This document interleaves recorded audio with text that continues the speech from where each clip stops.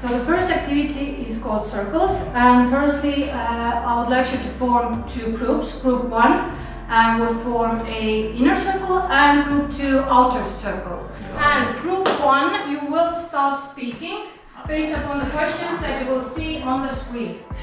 Okay, the first question uh, you will discuss uh, is Do you have any experience with religion? Question you will discuss Have you ever been a bystander to bullying? If yes, what was the situation and how did you react? It's been like uh, trying to help the other person, like just trying to react fast and just going in. I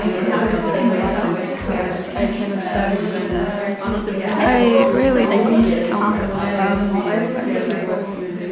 Bullying sucks. Um, if I was a bystander, I would just stand up to other people's and that would be nice. And I would find someone that I'm not doing anything about it, and I would. I mean, oh my god, you're Anyway, yeah, that's what I would do. I would